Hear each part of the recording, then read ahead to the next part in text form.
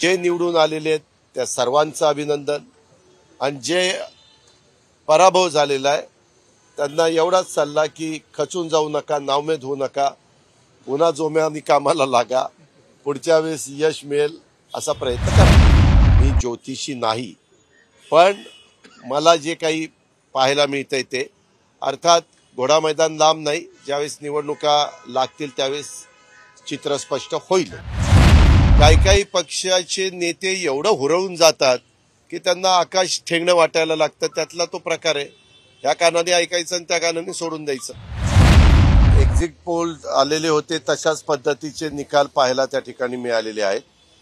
परंतु एक आता पाहिलं पाहिजे की गुजरातमध्ये आप आणि काँग्रेस हे दोघं वेगवेगळे लढून त्या दोघांची मतं एकत्र केल्यानंतर ती मतांची टक्केवारी किती होते? कारण अजून निकाल काही संपलेले नाही आहेत आणि त्याच्यानंतर त्याचं हे करता येईल कारण ज्यावेळेस आप त्याच्यामध्ये उतरलं त्याच वेळेस चर्चा अशी झालेली होती की पंजाबमध्ये जसं घडलं तसं तिथं अजिबात घडणार नाही.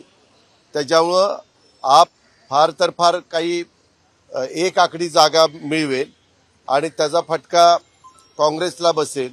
असं राजकीय विश्लेषक आणि वेगवेगळे मीडिया क्षेत्रातल्या मान्यवरांनी तशा प्रकारची चर्चा केलेली होती भूमिका मांडलेली होती.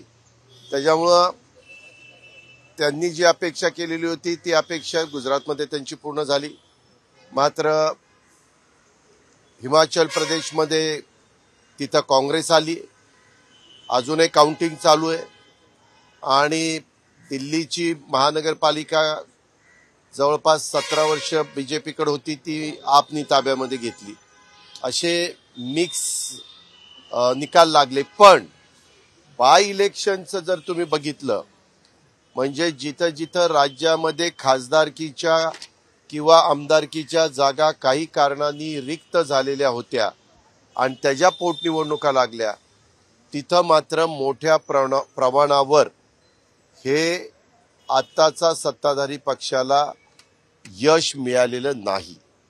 असं मी मगाशी कारण मी सकाळपासून इकडं आतमध्येच आमचा सतरा तारखेच्या मोर्चाच्या बद्दल ग्रामीण भागाची पण बैठक होती आणि आत्ता शहराची पण बैठक मुंबईची चाललेली आहे. पण त्यावेळेस मी माहिती घेत होतो त्यावेळेस मला ही माहिती मिळाली.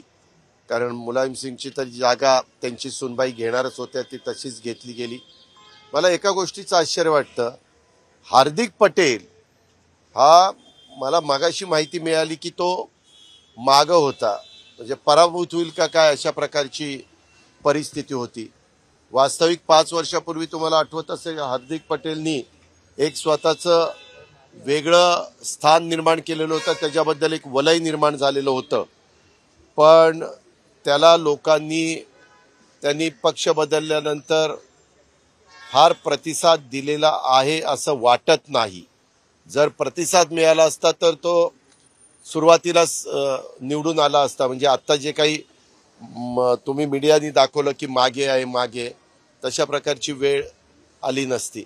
अशा पद्धतीचे हे निकाल त्या ठिकाणी लागलेले आहेत.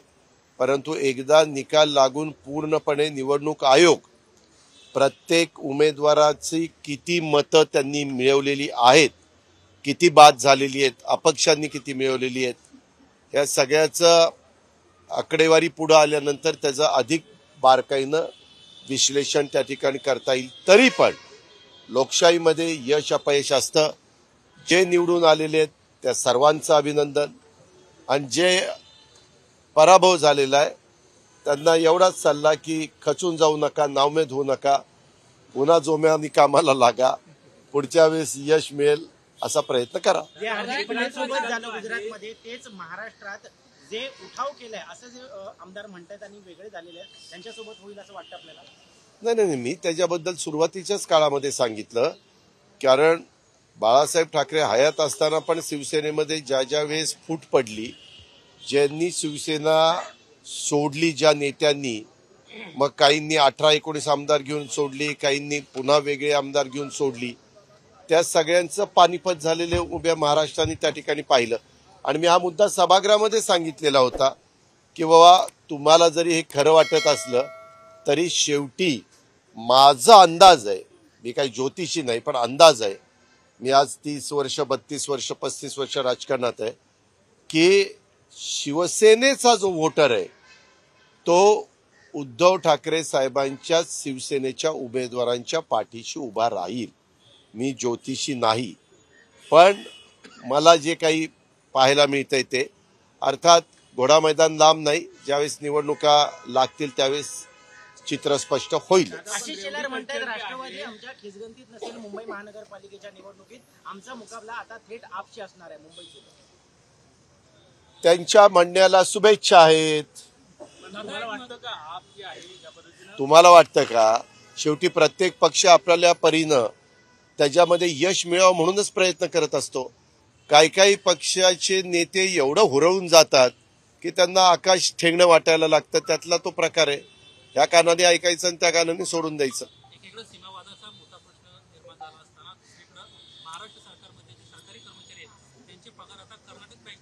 मी आत्ताच ती बातमी वाचली. म्हणजे तो जी आर वाचला. वास्तविक मीच अर्थमंत्री असताना काही बँकांच्या बद्दल काही ऐकायला मिळालं. आणि मग तिथं जर त्या बँका अडचणीत आल्या तर सरकारच्या कर्मचाऱ्यांचा किंवा सगळा तो पैसा अडचणीत येईल. म्हणून त्यावेळेस कॅबिनेटने निर्णय घेतला उद्धव ठाकरे साहेबांच्या नेतृत्वाखालच्या की कुठल्या बँकेमध्ये म्हणजे राष्ट्रीयकृत बँकांना तर नंबर एकचं स्थान परंतु कुठल्या बँकेमध्ये साधारण हे व्यवहार केले जावेत. आणि असं असताना आज मात्र तीन बँकांच्या बद्दलचा उल्लेख झाला आणि त्यात कर्नाटक बँक आहे. मग जखमेवर मीठ चोळण्याचं काम ह्या निमित्तानं राज्य सरकार करतंय का?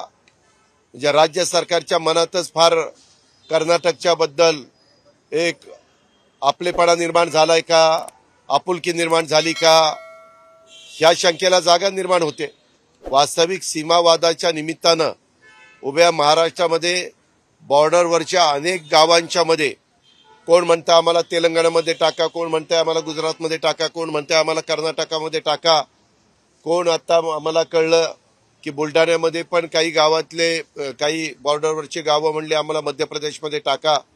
अशा प्रकारचं चित्र महाराष्ट्राच्या निर्मितीच्या नंतर कर्नाटक महाराष्ट्र सीमावाद सोडला तर कधीच नव्हतं.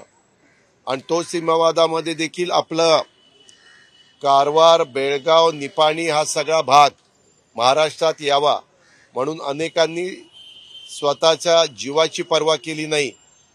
अनेकांनी लाठीचार्ज लाठी लाठ्या खाल्ल्या काठ्या खाल्ल्या आणि अनेकांनी ह्या अनेक आंदोलनामध्ये भाग घेतला. आता बरेच जण आज हयात पण नाही.